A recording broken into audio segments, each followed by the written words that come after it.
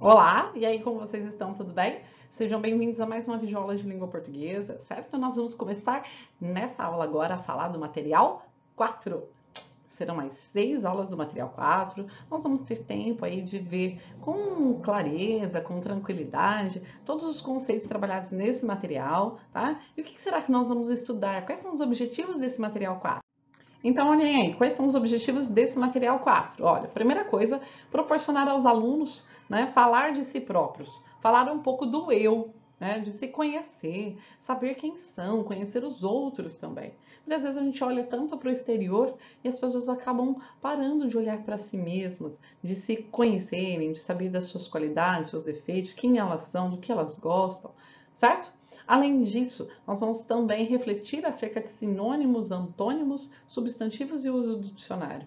Então, vocês lembram o que é o sinônimo, o antônimo? Os sinônimos são duas palavras que têm um significado parecido, semelhante. Antônimos são duas palavras que têm um significado oposto, contrário, tá? Então, por exemplo, se eu tenho lá feliz, qual que é o sinônimo? Alegre. Alegre, feliz. Eu tenho aí sinônimos. E o que seria o antônimo de feliz, por exemplo? Triste ou infeliz, que justamente é outra habilidade aí de formar antônimos, tá? Com acréscimos de prefixo que expressam essa noção de negação. Esse in, esse i, às vezes, né? Regular, irregular. Esse i quer dizer não regular. Provável, improvável. Feliz, infeliz. Então, eu crio uma palavra contrária acrescentando esse comecinho, esse i, in, né? Que vai dar essa noção de negação, tá bom? Também vamos localizar palavras no dicionário. É muito importante, sim. Hoje em dia, a gente não tem tanto, né, não é tão frequente no dia a dia dos alunos o contato com o dicionário impresso, mas o dicionário digital, sim. Certo? Para quê? Para que nós usamos? Para esclarecer significados, reconhecendo o sentido mais coerente com o texto. Qual que mais se encaixa, tá bom?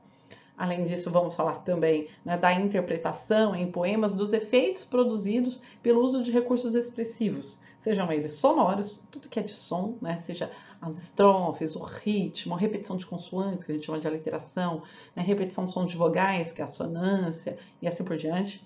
É, uso de recursos semânticos. O que é semântico, professora? É tudo de sentido. Por exemplo, as figuras de linguagem, né? as diferentes figuras de linguagem que nós temos, a utilização do recurso gráfico espacial, como distribuir as palavras né, na folha de papel, principalmente para poemas é, que a gente fala que são poemas concretos, né, poemas visuais, e, além disso, também né, relacionar aí as imagens com o texto verbal, tá bom? Então, eu tenho que em vários gêneros textuais, eu tenho o texto verbal e o não verbal, e aí eu tenho que relacionar esses dois tipos de imagem. O que, que elas têm em comum, do que, que uma acrescenta informação para outra. Não dá para eu ler uma tirinha só olhando a imagem ou só lendo as palavras. Eu tenho que associar as duas, por exemplo. Localizar informações explícitas no texto, aquela informação que está lá. Só basta que eu releia o texto e que eu ache a informação que está sendo pedida. Inferir uma informação implícita no texto. O que é inferir? É deduzir. Por que uma informação implícita? Porque ela não está ali explícita, ela não aparece diretamente no texto. Eu tenho que deduzir. Toda vez que eu tenho uma piada, por exemplo, né, o humor da piada, ele se encontra onde? Naquilo que não foi dito. Naquilo, na leitura mais profunda, uma habilidade um pouquinho mais complexa. E identificar a finalidade de textos de diferentes gêneros, já falei para vocês isso várias vezes, todo texto, todo gênero textual, ele tem um objetivo. Ele é escrito porque ele tem um porquê para aquilo. E aí saber qual é a finalidade ajuda e muito na interpretação. Vamos lá, para nós começarmos, olha essa primeira imagem. Que imagem é essa que vocês estão vendo? É uma imagem de uma mulher, uma moça, alguma coisa, e tem um ponto de interrogação. Ela não tem rosto. Por que, que ela não tem rosto? Né? Seria aquela pergunta básica. Você já parou para pensar quem é você?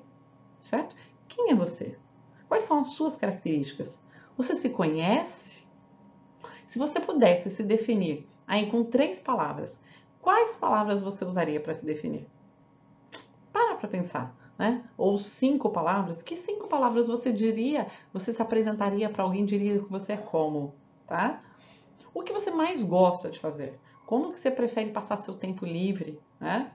O que te emociona, o que te toca, o que te sensibiliza, aquilo que você realmente né, fica impressionado ao ouvir, que te deixa muito feliz ou que te deixa muito chateado. O que é que toca o seu coração? Pensem nessas coisas. É tão importante, né? Tão importante que a gente pare nesse momento. Nossa vida anda muito corrida, cada vez mais corrida, mais cheia de obrigações. Uh, e aí é preciso que nós tenhamos um momento do dia para a gente fazer um balanço, olharmos para nós. Poxa, por que, que eu fiz isso? Por que eu fiz aquilo? Poxa, eu estou gostando disso. Nossa, como eu estou diferente. Olha, eu não gostava disso, agora eu estou gostando. Então, que vocês se conheçam. Então, esse é o momento aí de vocês se conhecerem olharem um pouco para si, né? olharem para vocês, quem vocês. E aí nós vamos, nessa linha de raciocínio, analisar o poema chamado Identidade do Pedro Bandeira, tá? Então, olha só como começa o poema. Às vezes, nem eu mesmo sei quem eu sou. Às vezes, sou o meu queridinho. Às vezes, sou um moleque mal criado. Para mim, tem vezes que eu sou o rei, herói voador, cowboy lutador, jogador campeão. Às vezes sou pulga, sou mosca também, que voa e se esconde de medo e vergonha. Às vezes sou Hércules, Sansão vencedor, peito de aço, goleador. Então aqui, tá? Vamos lá, vamos começar né, a falar um pouquinho do que, que o eu lírico está dizendo. Aqui ainda falta um pedacinho do poema, está no próximo slide, mas vamos analisar. Olha, identidade, o que, que é uma identidade? O que, que faz ter uma identidade? O que, que seria? Né? Identidade é quem somos nós, né? Qual é a nossa personalidade, as nossas características, a nossa identidade, tá? Às vezes nem eu mesmo sei quem sou. Vocês às vezes já se pararam para pensar, nossa, mas quem eu sou? Parece que eu sou tão confuso. Uma hora eu gosto de uma coisa, outra hora eu, gosto, eu não gosto, gosto de outra completamente diferente. Às vezes eu sou o meu queridinho. Às vezes eu sou o moleque mal criado. Por que que tá entre aspas? Você prestou atenção? Hum, por que tá entre aspas? Porque parece ser a voz de alguém, alguém falando, tá imitando alguém falando. Quem que fala o meu queridinho, o moleque mal criado? Às vezes a mãe, a avó, o pai, né? É um adulto que geralmente fala isso para criança. Né? Então, às vezes é o meu queridinho, porque faz alguma coisa legal, bonita, educado, gentil. E às vezes, por que, que é mal criado? Moleque mal criado. Né? Olha que oposto. Porque às vezes fez alguma coisa ruim ou respondeu com grosseria para os adultos? Para mim, tem vezes que eu sou o rei, um herói voador, um cowboy lutador, um jogador campeão. Então parece que às vezes ele é tudo. Olha só, herói voador, cowboy lutador, parece que faz diferentes tipos de coisas. É um jogador campeão, que ele é um sucesso, né? que ele se sente poderoso e importante. Mas às vezes sou pulga, Sou mosca também. Por que pulga? Olha o tamanhozinho da pulga. Da pulga é minúscula, parece que ninguém a vê. A pessoa até sente, mas quase não enxerga. Sou mosca também. Parece que a mosca é aquela coisa mais sem importância, né? Não é aquela mosquinha que está voando tão pequenininha, que voa e se esconde de medo e vergonha. Então, enquanto tem vezes que ele se sente forte, poderoso, importante, às vezes se sente frágil, né? se sente pequenininho, envergonhado. Às vezes sou Hércules, Sansão vencedor. Aqui tem o nome de dois personagens muito famosos. O Hércules da mitologia grega, né? O que, que fala do Hércules? Vocês se lembram? O Hércules ele é um semideus. Ele é filho aí de Zeus com uma humana. E que ele tem uma força sobre-humana. Né? Ele é muito forte. Ele é um grande herói. Então, ele, é Hércules é super forte. Um Sansão Vencedor é outro personagem também muito famoso. Vocês já viram que ele era extremamente forte, ele era praticamente invencível. E aí a Dalila descobre que uh, a força dele está no cabelo, ele vai lá e corta o cabelo dele e ele é aprisionado. Já ouviram falar dessa história? Também era um outro personagem aí muito forte. Porque tem peito de aço, goleador. Por que peito de aço? Justamente é para representar essa força, tá? Mas o que importa o que pensam de mim eu sou quem eu sou. Eu sou assim, sou menina. Então é um poema do Pedro Bandeira, retirado do livro Cavalgando o Arco-Íris. Mas o que importa o que pensam de mim? Às vezes a gente não se importa demais com o que pensam da gente. Às vezes a gente dá muito valor para o que as pessoas acham da gente. A gente se preocupa mais com o que o outro pensa do que aquilo que a gente realmente quer. Né? Às vezes a gente perde a nossa felicidade, perde momentos de prazer, porque ai, que vão achar que eu sou criança, aí vão achar que eu sou ridículo, aí vão achar. E perde né, grandes coisas, grandes oportunidades. Né? Eu sou quem sou. Eu sou assim, né? eu sou eu, sou assim, sou menino. Então, e daí? O que, que eles pensam de mim? E aqui esse eu lírico, ele fala, é um menino, né? Mas pode ser um menino no sentido literal, realmente como se o eu lírico fosse um menino, né? E mostrando essas, né, essas diferentes facetas, ou pode ter uma alma de menino também. Ele pode estar querendo dizer que, olha, eu sou quem sou, sou assim, eu vou, ser, vou manter a minha alma de criança, meu, meu, minha alma infantil, né? esse espírito vai viver dentro de mim. Então eu posso ter essas duas interpretações. Mas no final ele resolve, eu vou ser assim, né? E aí? Tanto faz o que eles vão achar de mim. Eu sou assim, sou um menino, né? Eu sou eu. Certo? Então ele faz uma análise aqui de quem é. E você conseguiu fazer essa análise de quem você é? Você, você se identificou com esse poema?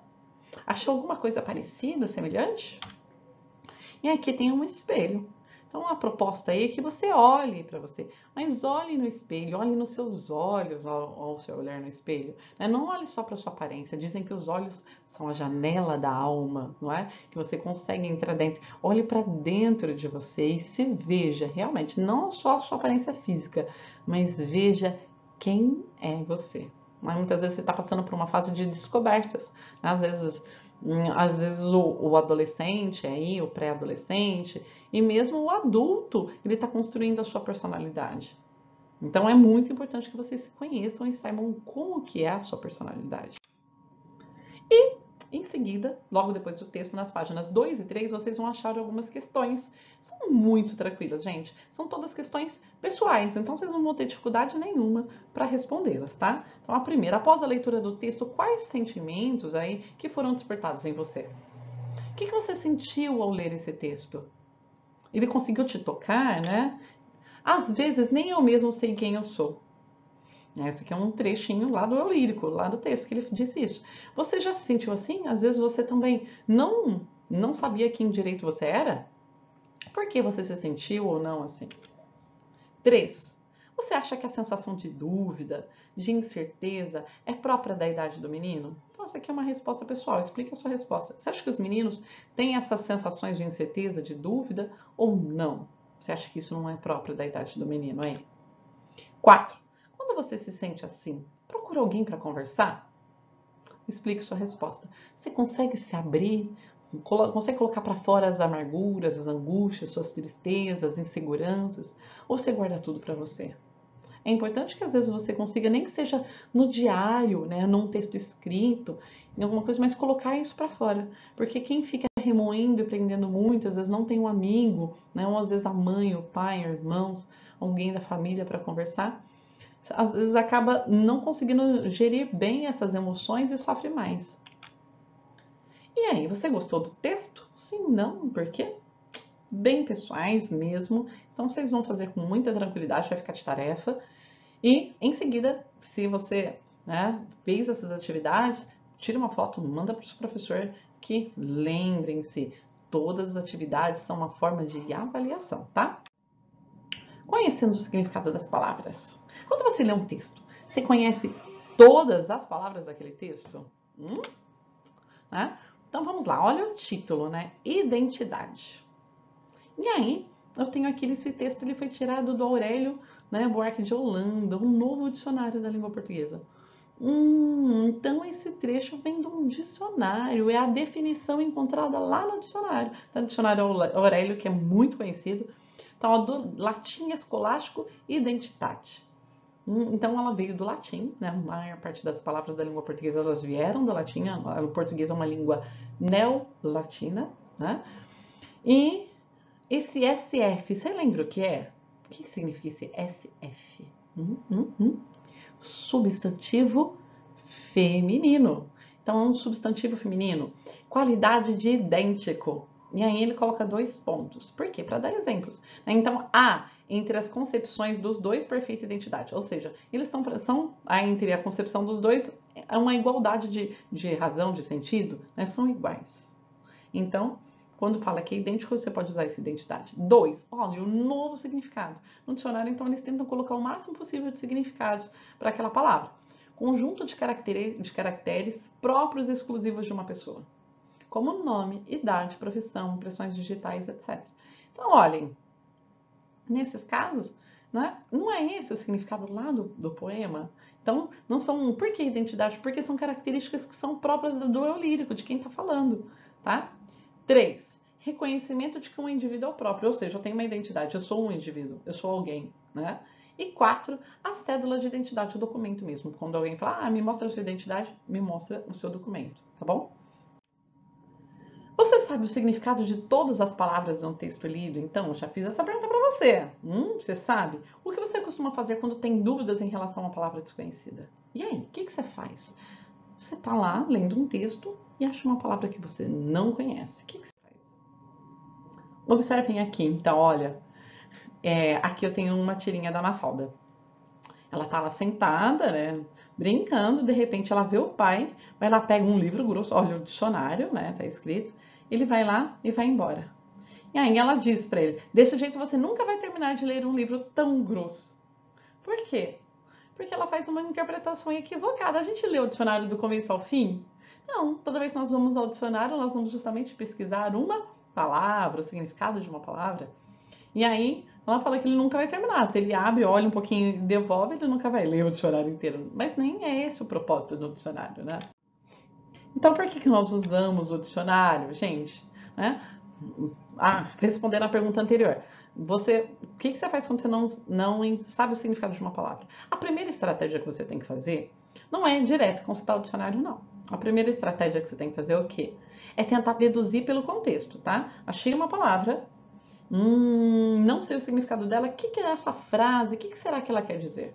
Por quê? Porque às vezes a gente não vai conseguir, se nós pararmos toda hora para procurar uma palavra, nós não vamos conseguir entender bem o texto. Vai ficar muito quebrada a nossa leitura. Então, essa é a primeira estratégia. A segunda, não conseguir de jeito nenhum, recorra ao dicionário. Então, por que, que eu uso um dicionário? Olha, primeiro, para verificar o significado de uma palavra desconhecida, para saber o que ela significa. Para encontrarmos um sinônimo para uma palavra. Então, estou escrevendo um texto. Eu já falei várias vezes uma palavra. Então, eu vou lá, procuro no, no dicionário uma outra palavra para que eu possa trocá-la, um sinônimo, certo? Uma palavra que tem o mesmo significado. E aí eu faço essa substituição. Terceira coisa, para verificarmos tanto a ortografia quanto a acentuação de uma palavra. Eu não sei como escreve, meu Deus, é, é com X ou com CH? Ai, essa palavra tem ou não tem acento? Então eu vou lá no dicionário e eu confiro, e eu consulto. Isso me ajuda, né? Sempre a, quando eu faço pesquisa, mostra que eu me importo de escrever corretamente. E aí eu vou a, me apropriando dessas regras, escrevendo cada vez melhor. E como nós devemos consultar um dicionário? É fácil. O dicionário online é muito mole, né? Hoje em dia a gente vai lá, pega o celular, digita. Eu vou lá no Google, por exemplo, que é um site de busca, ele acessa dicionários que são online, que são sites de dicionário, né, com significados, e me traz o significado assim instantaneamente. Mas e se for um dicionário de papel? Você tem um dicionário aí? Como que você faz para consultar o dicionário, né? O dicionário ele traz então os vocábulos de uma língua dispostos na ordem alfabética. Então, ele traz as palavras de uma língua e é sempre na ordem alfabética. Eu preciso conhecer a ordem do alfabeto, tá? E acompanhados dos seus significados. Então, eu vou ter lá uma palavra e em seguida o que ela significa, tá? Primeiramente, você deve se basear na ordem alfabética da primeira letra. Então, por exemplo, o que mais que eu uso ordem alfabética? Na, na lista da sua classe. Quando você tem a lista do nome dos alunos, né? Não é à toa que começa lá com a letra A, depois letra B, C e assim por diante. Né? Mas se por acaso eu tenho dois nomes com a mesma letra, tipo Ana e Alice, e aí, qual que vem primeiro? Eu olho, as duas começam com A. Tanto faz colocar qual que eu ponho primeiro? Não, de jeito nenhum. Se a primeira letra é igual, o que, que eu faço? Eu olho a segunda letra. Então, A, Ana, Alice, igual. Ah, então vamos para a segunda. A primeira, a segunda letra, Ana é N, Alice é L. Hum, o que, que vem primeiro? L ou N? Hum, vem o L. Então é primeiro Alice e depois Ana. Isso eu vou fazendo, né? Eu vou, tipo, desempatando letra a letra. Tá igual? Eu olho a próxima letra. Se tá igual, eu olho a próxima letra. Certo? Então é esse o critério que se usa lá na ordem, né, na hora de fazer aí a ordem da classe, né, dos alunos, da lista de presença, por exemplo, e também é esse critério que você vai usar para fazer a, a consulta no dicionário, às vezes uma lista telefônica que quase não existe mais, tá bom? E aqui eu tenho um exemplo, olha, de dicionário, né? Uma página de dicionário. Olha, o que está em azul é a palavra, a entrada, né? E em preto são os significados. E a última atividade que vai ficar para vocês, para vocês treinarem um pouquinho sobre ordem alfabética. Vocês vão colocar essas palavras que foram tiradas do texto, ó, queridinho, vergonha, jogador, menino, campeão, medo, mosca, moleque, herói, malcriado e pulga. Coloquem essas palavras na ordem alfabética, certo? Lembre-se a dica? Começa pela letra A, vê se alguma tem a letra A, não tem, vão para a letra B, vê se tem A, não tem, vão para a letra C e assim por diante, vai fazendo um por um. Meu Deus, tem três palavras com a mesma letra. Hum, e agora? Olha para a segunda letra, olha para a terceira letra. Né? Então, é dessa forma que você vai conseguir colocar certinho na ordem alfabética. Tenho certeza que você vai tirar isso de letra. Faça também essa atividade, mande junto com a outra para o seu professor. E a gente se vê então na próxima aula para dar continuidade nesse estudo. Um beijo! e até mais. Tchau, tchau.